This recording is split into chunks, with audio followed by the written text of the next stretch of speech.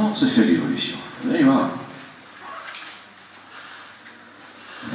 Comment une mutation peut changer le monde. La vision, justement.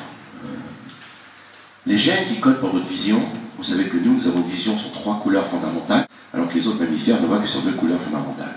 il y a trois types de gènes, enfin paquets de gènes, qui gèrent donc, enfin qui codent pour notre vision.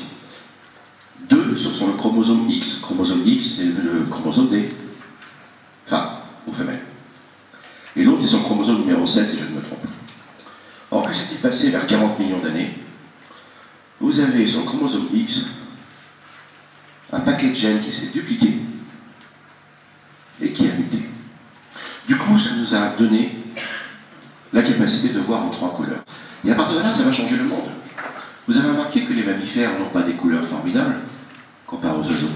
Ils sont blancs, bruns, noirs, marrons, enfin c'est pas folichon quoi.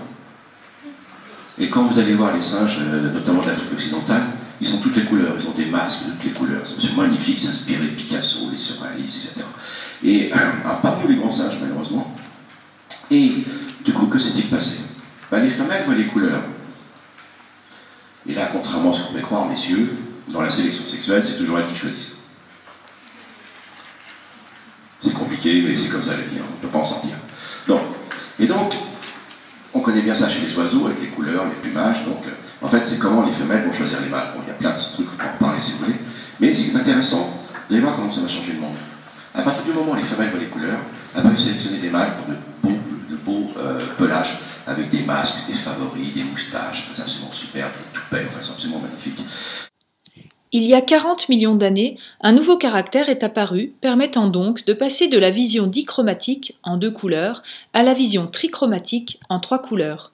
Ce nouveau caractère s'est mis en place grâce à l'apparition d'un nouveau gène, comme l'explique Pascal Pic.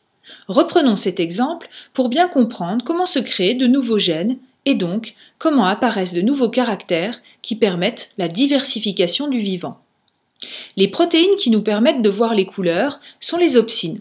Ce sont des protéines qui se trouvent dans la rétine et plus précisément dans les photorécepteurs qu'on appelle les cônes. Vous les avez étudiés en première S, et si vous voulez revoir le rôle des opsines, il vous suffit de cliquer ici.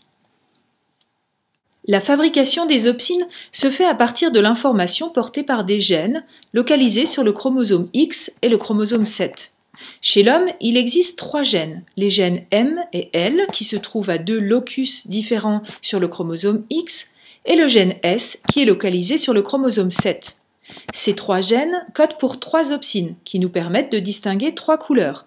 L'opsine M qui nous permet de distinguer le vert, l'opsine L qui nous permet de distinguer le rouge et l'opsine S qui nous permet de distinguer le bleu. Ainsi, grâce à ces trois opsines, nous avons une vision trichromatique en trois couleurs. Pour bien comprendre l'histoire des opsines, remontons le temps il y a 40 millions d'années. Les individus ne présentaient alors que deux gènes, le gène S, codant pour l'opsine bleue, et un gène ML, codant pour une opsine sensible aux couleurs jaunes. Ces individus avaient donc une vision dichromatique en jaune et bleu. À un moment donné, lors d'une prophase 1 de méiose, un crossing-over inégal entre deux chromosomes homologues a eu lieu. Regardez ici, on voit deux chromosomes de la même paire qui sont appariés en bivalent. L'un est coloré en bleu et l'autre est coloré en rouge. On observe que des chromatides des deux chromosomes homologues se croisent au niveau d'un chiasma. Mais l'échange de chromatides est inégal. Vous voyez que le gène C se retrouve deux fois sur la même chromatide. On dit qu'il a été dupliqué.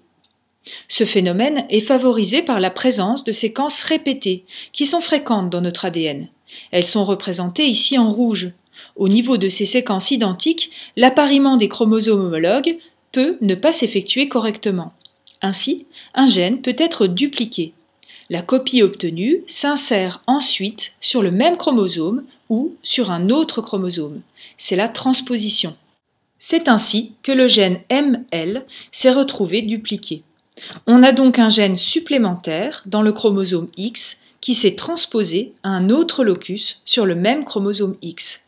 Puis, au cours du temps, des mutations aléatoires vont se mettre en place dans la séquence de nucléotides de ces deux gènes. Les différentes copies qui étaient d'abord identiques deviennent de plus en plus différentes. Aujourd'hui, les deux gènes contiennent deux informations différentes permettant de construire deux protéines d'opsine différentes, l'opsine L et l'opsine M. On voit donc bien à travers cette histoire que les deux gènes d'opsine M et L actuels proviennent d'un gène ancestral. On dit d'ailleurs que les deux gènes appartiennent à une même famille multigénique. Votre mission dans cette activité sera de valider cette histoire des familles multigéniques à partir des documents proposés.